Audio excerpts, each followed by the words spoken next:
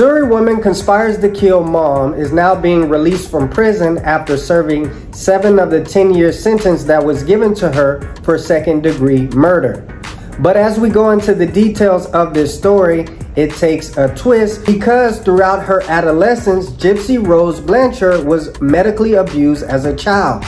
Her mom made false claims about her having asthma, leukemia, and muscle dystrophy so she can run a medical scheme basically on her daughter. Gypsy Rose's mom, aka Dee Dee, also made claims that her daughter was mentally ill, said she had the mental capacity of a five-year-old. Her daughter was also confined to a wheelchair every single day and also forced to eat through a feeding tube. This is a horrendous story all the way around. I'm gonna play this clip and we'll come back. Gypsy Rose Blanchard, a Missouri teen convicted of orchestrating her medically abusive mom's murder in 2015, is set to be freed from prison today after serving eight years behind bars. Blanchard, now 32, was the subject of a bizarre media frenzy that spawned numerous documentaries and a Hulu series after she ordered her online boyfriend, Nicholas Godejohn, to stab her 48-year-old mother, Claudine Dee Dee Blanchard To death. The teen is believed to have suffered one of the highest profile cases of Munchausen syndrome, where her mom's insistence that she suffered various made-up illnesses led her to undergo painful surgeries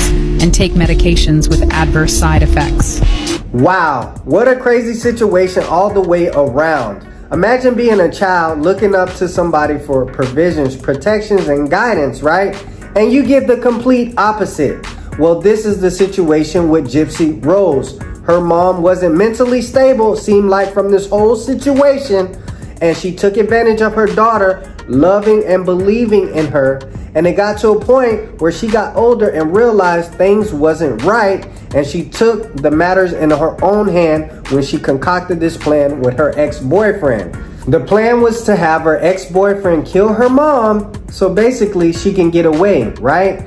This whole situation had so many red flags in it anyway because number one, the medical team, the medical staff, how are you giving the mom medicine and treating a child that didn't have leukemia because she was being treated for cancer or performing surgeries on this young girl, giving her medication for her mental stability when she didn't need it, or even having her eat through a feeding tube when nothing generally was wrong with her in this situation.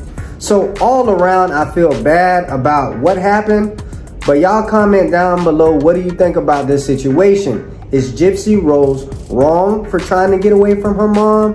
Does she deserve to do the seven years that she did? Or should she done some more time? But this situation has me baffled.